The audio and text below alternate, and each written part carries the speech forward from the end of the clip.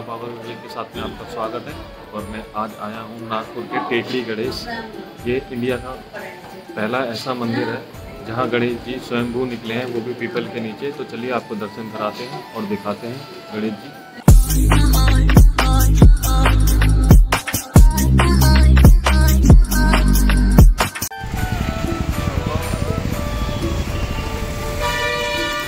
आसपास फूल प्रसाद की दुकानें हैं। मंदिर के गेट के बाहर। अब हम मंदिर के अंदर एंटर हो चुके हैं और मंदिर में जा रहे हैं। ये स्टाफ की पार्किंग है। दर्शन करने आते हैं जो, वो भी पार्क कर सकते हैं। और काफ़ी प्राचीन मंदिर है। चलिए आपको दर्शन कराते हैं पहले। ये चप्पल जूते का स्टैंड है। यहाँ पहले चप्पल उतार देते हैं।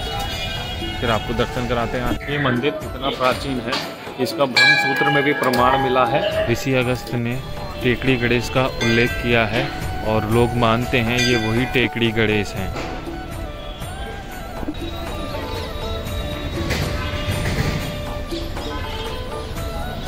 कितने बढ़िया लग रहे हैं। और डेकोरेशन देख सकते हैं, कितनी अच्छी हो रही है। वो मंदिर है। तो चलिए मंदिर जाते हैं हम।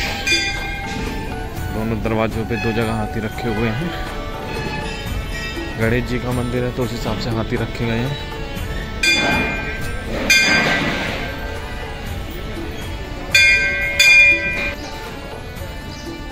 मैं आपको इसकी एक खासियत और बता देता हूँ।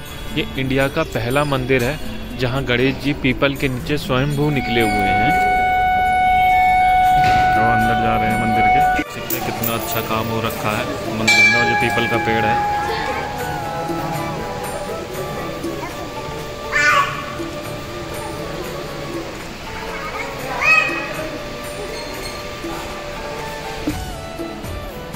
आप जो गणेश जी देख रहे हैं, जिनके दर्शन कर रहे हैं, ये स्वयंभू निकले हुए हैं पीपल के नीचे।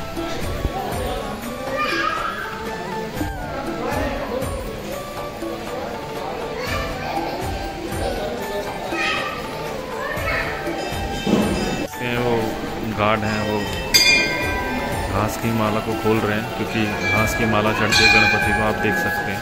और बहुत सारे श्रद्धालु आ रहे हैं यहाँ दर्शन करने। गेट दे रखे हैं, एग्जिट के लिए।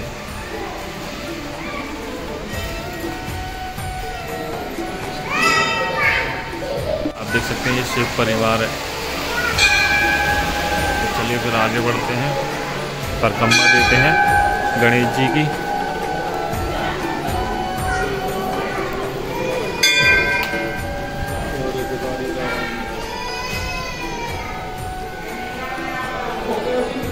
आप सामने दर्शन कर रहे हैं राधा कृष्ण जी के। काफ़ी सुंदर रूप है।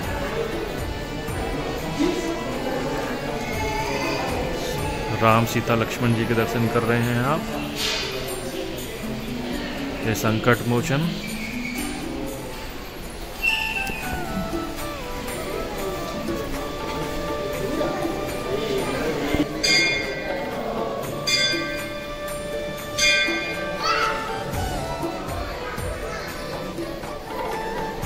हमने गणपति जी के दर्शन कर लिए। तो चलिए, उन्हीं के सामने है लक्ष्मी माता का मंदिर। वहाँ दर्शन कराते हैं आपको।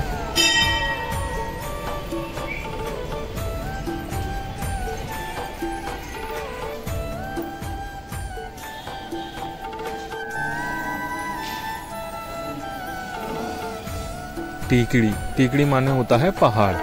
तो लोग मानते हैं कि इस मंदिर की जगह पहाड़ हुआ करता था, बहुत बड़ा। और जब अंग्रेज़ यहाँ अपनी रेलवे लाइन डाल रहे थे तो खुदाई के दौरान यहाँ पीपल के नीचे गणेश जी दिखे तो लोगों ने पूजा चालू कर दी और उस टाइम अंग्रेज़ों ने भी पूजा की थी गणपति की। तो इसी इसी तरीके से ये मंदिर बहुत ज़्यादा फ़ेमस हो गया और लोग पूजा करने लग गए इधर।